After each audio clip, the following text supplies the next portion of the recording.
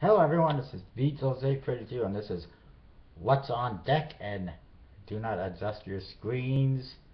That is actually like you see and it's not even noon. That is because it's been pretty dark outside. We've been having a storm for like the last two hours. It's finally calming down but if you hear some thunder in the background, don't be alarmed. Anyways, this is What's on Deck. I think I mentioned that already. Let's start off with a little roundup of what's going on Kickstarter. I'm just going to go up and down the list of all the decks on Kickstarter and let you know what I know. First of all, there's a new deck on Kickstarter. It's the Bicycle Evolution. I like that name. From Elite Playing Cards.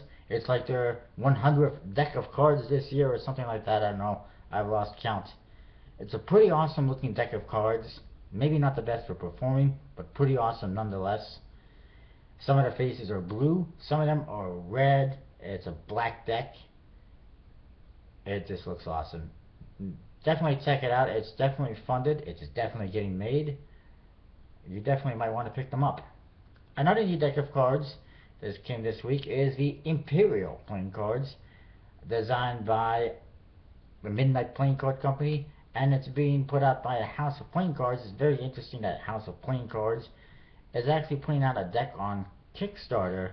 To me, it sounds like they are getting a little bit greedy. They see all these other decks making a hundred grand on Kickstarter. They figured they might as well join in the club. Uh, might as well join that club, and so far it's not happening. But they're they're almost funded. They're like 89% funded, but I don't think that they're going to make tens of thousands of dollars like they anticipated. Again, though, I don't really understand it. If they put those decks on HouseOfPlayingCards.com, they're going to sell out anyway. So their only purpose for actually going on Kickstarter is to try to get a larger audience and make more money, which sounds like greed. Nonetheless, the Bicycle Imperial, the Imperial deck is a nice deck of cards. There is one that is a red deck that just says Imperial playing cards on it, and then there's a black one that says Bicycle Imperial if you really have to have a bicycle deck. So you can get either or or both, which is kind of cool. Uh, next on our list, a Bicycle Venexiana, which is a Venice themed deck of cards from Half Moon Playing Cards. And in case you don't know, the designer of the uh, the guy who runs Half Moon Playing Cards designed previously the Timeless deck of cards and the Bicycle Butterfly deck of cards for RSVP Magic uh, few months ago, last year, whatever it was. He designed this deck. It's a Venice themed deck. It's a white deck. There's also a alternate black box that you can get, but it's the same deck. It is funded. It's got 50 hours to go. If you haven't gotten yours yet, make sure you get yours right now. Uh, he was going to do a black deck as well if they hit $20,000. They haven't hit $20,000. They kind of stalled on 18,500 for a little while at least for the last day or so. And he's also said that he's not going to make a black deck right now because it's too much hassle, too much too much cost. But he will do a black deck later on. He's actually telling people this is a first to cut back on your pledges. yes, he said that. Cut back on your pledges because there's not going to be a black deck. And yeah, Never heard that before, but whatever. He's it is funded. It is going to be coming, and if you haven't got yours yet, you still got 50 hours to us, so make sure you go get it. The next deck on our list is the Creepy deck. Creepy playing cards. That's the whole name. Apparently, it's being printed by USPC, but he's only looking for like six thousand dollars. So I don't know exactly how that's going to happen. I'm a little bit concerned about that actually. Now that I think of it, because it says printed by USPC and he's only looking for $6,900 that is scary actually. But it's only 50 just over 50% funded almost a month to go. It looks like it's going to be successful. However I'm hoping he gets a couple more thousand dollars than he's looking for. Otherwise it might be a little bit hard to make that happen for $6,900 uh, USPC deck. I don't think originally it was going to be USPC, but now it is. I don't know. Uh, the creator is XGU Productions, or however you pronounce that. So far you had two other decks, the Bicycle Emotions and there's that Thunder I was telling you about. The Bicycle Emotions and another one, both of them failed. This one might be successful. However, I don't think he's looking for enough money, so you might want to be cautious about picking this one up. And I will say, however, compared to the other ones, this one is an, a nicer deck. It's got a creepy face on the back design, black and white, black and silver color. And it is a two-way back design, by the way. But it is a creepy, scary looking face. And then it's got creepy figures on the court cards. Much better than the previous decks, which were really cartoony, and I just didn't like them. Um, another deck that's on Kickstarter, I think I mentioned last week, is the Permaculture playing cards. I have not picked this one up. I'm not interested in in it. Basically, each card has permaculture information, whatever that is. Uh, there's people, plants, ideas, animals, techniques. That's what it says, anyways. One-way back design. You don't get pips on any of the cards. Just a bunch of information. Not exactly the type of deck of cards that I'm interested in, or that you would use to perform or anything like that but they are well funded and there's still over 20 days left. Helps to have a lot of subscribers on your YouTube page apparently. Uh, the next deck, the Persian Empire, blah blah, it's not funded yet. Moving along. The Bicycle Emperor, if you haven't picked up the Bicycle Emperor deck, 11 days to go. You can't get the blue deck, but the red deck you can get unlimited. It is going to happen. It's funded for sure. Uh, another new deck I might have mentioned before, a War of Kings. It's getting there, not funded yet. That one's got a theme featuring knights, barbarians, and wizards. Pretty cool looking. Not sure if it's going to be USPC. It wasn't originally. I'm not sure if it is going to be though.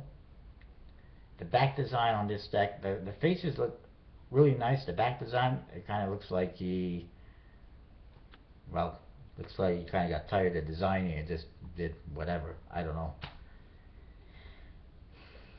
The next on the list, the Bicycle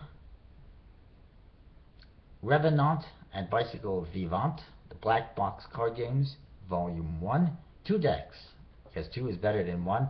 You get a dark theme and a, like a, it's like a, a, a death theme and a living theme. Pretty cool.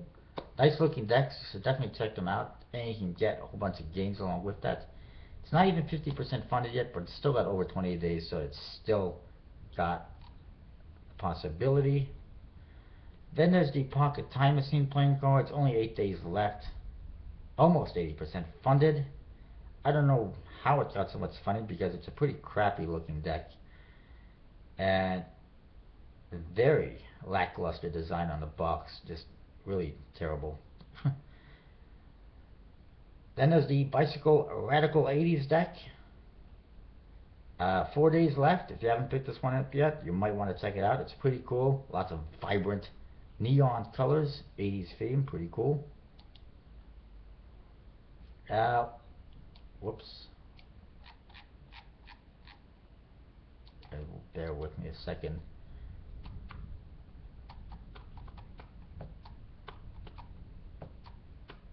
Mm, I'll skip that one for now. The Fanangle deck has six days left, only 33% funded. It's a shame. It looks like a great deck, especially the back design, but it's just not going to make it. I guess people don't want their playing cards rebranded. Note to Tunnel Bravo or Fanangle, whatever they want to call themselves. the Badass Raging Grenades deck, you cannot get it anymore. It's funded. I did not bother with this one, but they got $49,000 of funding somehow. Pretty surprising since it's anything but standard. The minimal deck still has 38 days of le left to go, but it's got a minimal amount of pledges as I predicted. It's not going to make it, I don't think. It needs a miracle to make it. Bear with me a second. Excuse me. Um, next on the list, I mentioned this one before, the Trips and Sips of Thomas Tippins, the drinking deck just about 80% funded, 13 days left. Again, not just standard deck of cards, features like alcoholic beverage recipes and information. It's just, uh, it's, it's a deck based on drinking. It's not standard in any way, no pips or anything like that, and it does not look like it's going to be successful, but who knows. Then there's the bicycle King of Kings from TPX Designs. Just about 80% funded, seven days to go. You can help make it a reality. Go check it out right now. It's a pretty awesome deck. They did add on a limited black deck with 50 decks only, and they are probably going to be adding another color. Again, limited, not USPC those decks, but limited nonetheless and pretty cool. And like I said, there, there's the deck. Then there's an alternate box color as well you can get. It's pretty cool. Next on the list is one that is more like a uh, just making you aware of it. It's the bicycle stigmata, playing cards based on these stigmatics, or stigmata, whatever you want to call it. Saints, affected by the signs of the stigmata, as it says. It's from the same creator as the bicycle diamond cut deck. A deck which has failed, been cancelled, and failed again, and as soon as this one failed, as soon as that one failed, he posted a campaign for this one. And this one, the Bicycle Stigmata, he's designed all of about two cards and a back design, which isn't that great. To me, it seems like this guy needs to step back, take a deep breath, finish designing the deck, and then put it on Kickstarter. Nobody's gonna pledge for a deck that he hasn't even really begun to start designing, and it shows only 8% funded, not even a thousand bucks. Good going. You're on a roll, once again. Like I said, take a deep breath, step back, relax, do the artwork, take it to the forums like United Cardists, get their opinions, make sure it's perfect, and then put it on Kickstarter. That's my recommendation. I dislike it when you got projects on Kickstarter that are still designing cards after it's been funded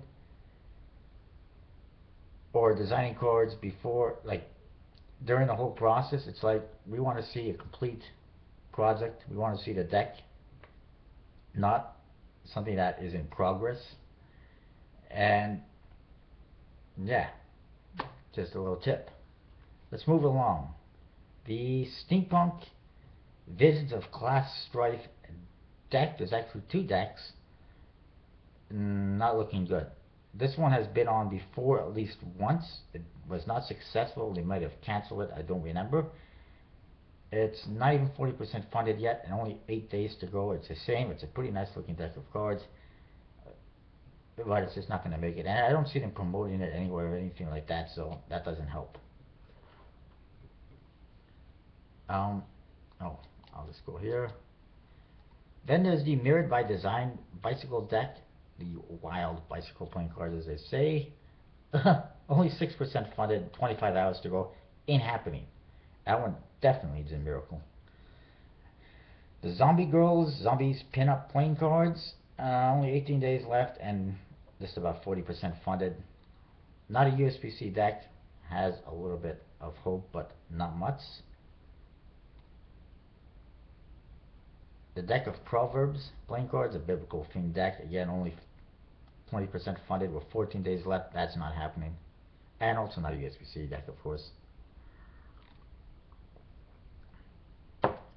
Um, there's a lot of other decks that aren't going to make it, obviously. The Bicycle Haunted decks, the Haunted deck, that was funded, but I'm not a huge fan of it, and I canceled my pledge on it because I, it looks like it's uh, it's just not great. You know, it's it's got an interesting, a decent theme to it, but they got lazy on the court cards and just threw the same court cards in all the suits. That's kind of lazy to me. Anyways, moving along. Steampunk Kululus, however you pronounce that, from Nat, are finally shipping. The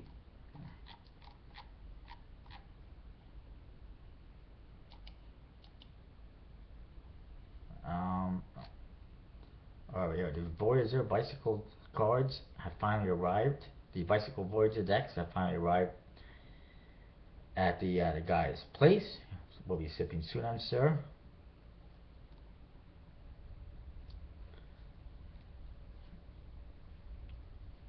Uh, the Mustache cards, I haven't heard anything on, those Vanta cards lately. The Sultana, if you haven't received them yet, should be receiving soon. I already got mine, obviously. The Majestic, Bicycle Majestic from Elite Playing Cards, shipping. Uh, you should receive them soon if you haven't. The Galaxy V2 should be shipping soon, I'm guessing.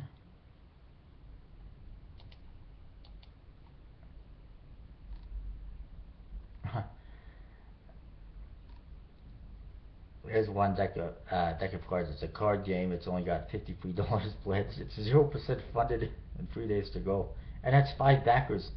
Zero percent funded. it's just terrible. It's got a, a, a mafia and werewolf theme to these cards for a game, a mafia game. Eh, people don't like it. The Federal 52 decks are shipping or will be shipping soon, so if you haven't gotten them yet, just keep waiting. Won't be much longer. The Founders playing cards, a lot of uh, pissed off people on that one. It doesn't look like it's happening. Some people are saying that USPC hasn't even made them. They don't know anything about them. So it's not looking good.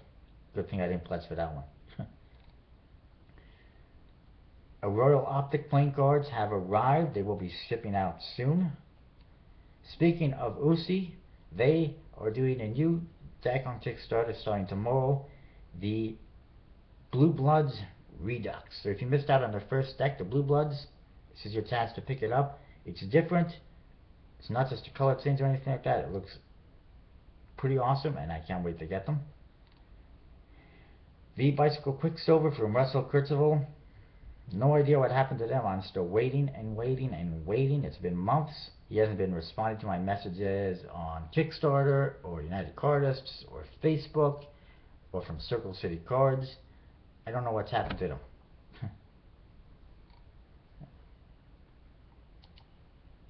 and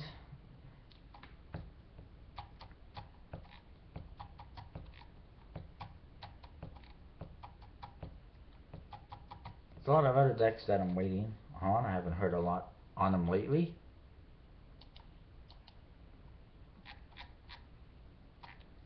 Oh, there's one. Uh, the core playing cards. Apparently those are shipping. I'm still waiting for them. And as per his stretch goals, it should be metallic inks. It just made that, so there better be metallic inks. haven't heard anything really on the Pippoglyph cards lately. And oh, the traditional 8 bits are in. They were still waiting on some of the other decks, but they got the red and blue decks in. The rest should be coming in the near future. And I think I'll leave it at that. I can't think of anything else. The ultraviolets, still waiting on those. I don't know I'm never going to see those. I apologize if this video is a little bit long. I really apologize. I just thought that would be a little bit better just to go through them. Uh, I think that's it for Kickstarter. Uh, one other little note. The Fallen Cards Project, some of you may have heard of it, which was uh, Dan and Dave was involved with that. It was for a pilot for a TV series about magic with Dan and Dave Buck as the stars. Ekaterina was going to be involved and all sorts of other magicians. It barely got any funding. It did not make it. And now apparently they're looking for $1,500 for equipment and stuff on another crowdfunding website. And I don't even think they're going to get the $1,500. Who knows? But I don't think that they're, they're planning to relaunch on Kickstarter, but I'm sure if that's going to work anyway and Lance Miller was just, you know designing a deck for that, and that kind of all fell through. I don't know what's going to happen with that. Uh, Ellusionist, some updates. Uh, Ellusionist just released a Salted Republic V2. It's a black borderless design. custom faces and everything. I probably will see mine in like two weeks, so I'm looking forward to that. I just got my Scarlet Rounders. I'm happy with that. Two Scarlet Rounders, not one. Awesome, awesome, awesome. And I got nothing else from a Ellusionist right now. Haven't heard anything from Theory 11 lately. I'm still wondering if they're going to be doing Red Monarchs or not, if they just teased us for nothing. Dan and Dave, still no new decks from them. However, they are going to be having a new variety box. If you're looking for a variety box with 12 decks, they got that coming up soon. I'm not really interested because they haven't done anything lately and I've got older decks. Speaking of which, Dan and Dave appear to have another website now called artofplay.com. I, I did get a response from someone on there named Justin. I don't know who. Justin who? Justin Miller. I don't know who it is. Some Justin. Uh, but it does have Dan and Dave's name on it. There's a lot of rare decks on there, including the Bicycle Burtons. Actually, I think they sold out on those. There was 11. I bought one more. Other people bought some, but they sold out. There's all sorts of Chinatowns. Uh, Chinatowns, don't even bother. They're looking for $88, and that's just a red one. The yellow one, same thing. Really, really outrageously overpriced. There's Magicon V1s for 50 bucks if there's any left. I picked up another one. I've been looking for another one. That price was too good to pass up because they sell for like 80 to 100 bucks on eBay. So it was like, sold. um, and they got all sorts of other Dan and Dave and Theory 11 decks on there, some Daniel Madison decks. So maybe check it out. It's not a bad looking web website. Some of the prices on some of the rare decks are pretty good. Some of them are kind of bizarre, especially the Chinatowns, mainly that one. And decent selection, artofplay.com. Um, that's what I've got. I don't think I've got anything else. Nothing new on the horizon from the Blue Crown that I know of. House of Playing Cards recently released the Summer NLC decks and of course they're doing that Imperial deck with Midnight Card Company on Kickstarter. So that's all I've got. I got nothing from Big Blind Media. Alright, I'll see you next time. Stay tuned for more. And look, the storm is over. see ya.